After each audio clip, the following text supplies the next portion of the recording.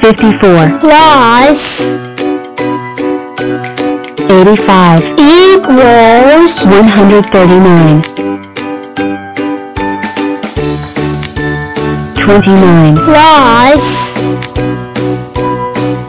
68 equals 97 25 plus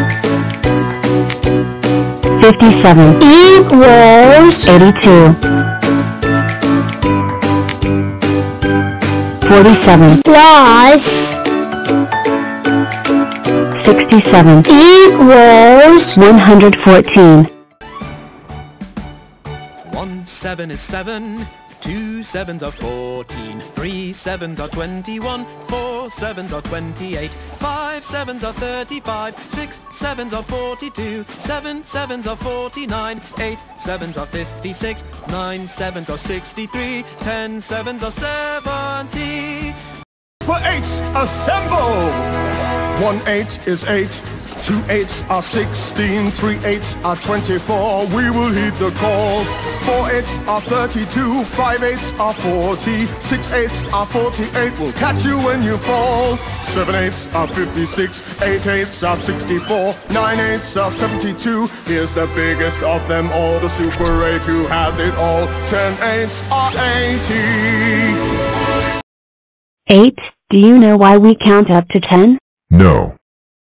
Well, the main reason why we count to 10 is because humans have 10 fingers. 5 on each of their two hands. 1, 2, 3, 4, 5, 6, 7, 8, 9. 10? See? 10 numbers, 10 fingers. Let me show you all why we count in base 10 in a few different ways. First off, the number table. Let's do 1987 for example. Do you see anything that relates to this number?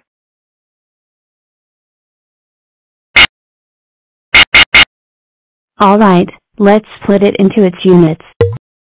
This number is made up of 1,000, 900s, 8 tens, and 7 ones. See? Let's see this in block form, shall we?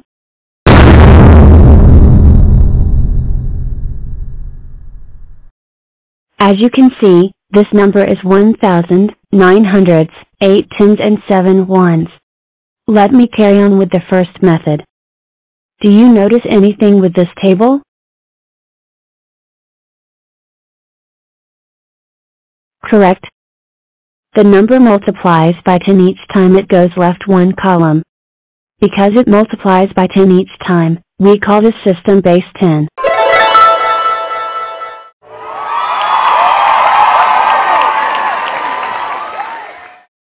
As Dan said, humans count with base 10 out of all bases because they have 10 fingers, 5 on two hands. But what if humans had 8 fingers? Things will change a lot. As you can see, cartoon characters, like Mickey Mouse, have 4 fingers on each hand.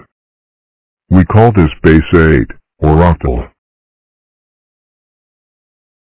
Oh wow. Looks like I am no longer Octoblock. But I am still called 8. So yeah. This base has 8 digits. 0, 1, 2, 3, 4, 5, 6 and 7. Let's count in octal. 1, 2, 3, 4, 5, 6, 7. 8. Do you want to see another base? Then come to my beautiful computer. This phone seems to be quite interesting. Oh, hello. I am number block 2. I am the same in octal than in decimal. I am the third out of 8 digits in octal. But what if there were only 2 digits?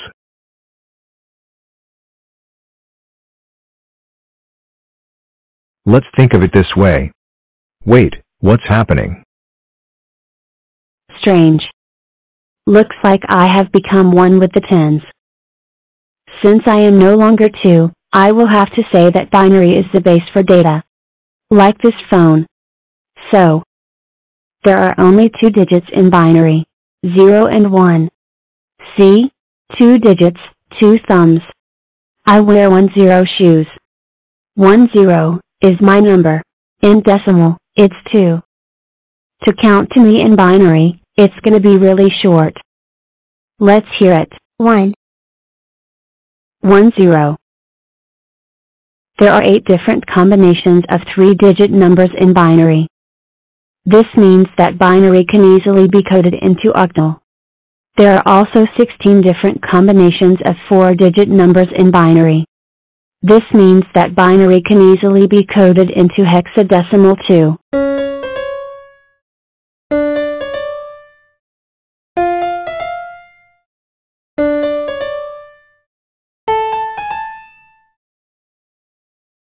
Let's move on to the next base. This is base 16. Also known as hexadecimal or hex. If this is base 16, there needs to be 16 digits. 1, 2, 3, 4, 5, 6, 7, 8, 9, A, B, C, D, E. F. 1 0. Now you know your bases. Also, I am a 4 by 4 square. Wow. A big square. Also, there are lots of other bases yet to be explored. Have a go at making your own. It's gonna be so much fun. 29, Plus 79, equals 108, 46, plus 41, equals 87, 32, plus 4, equals 36, 85, plus 34, equals 119, 46, plus 1, equals 47, 51, plus 97, equals 148, 92, plus 81, equals 173, 78, plus 66, equals 144, 61, plus 76, equals 137, 55, plus 1, equals 56, 5, plus 27, equals 32, 86, plus 61, equals 147, 48, plus 71, equals 119,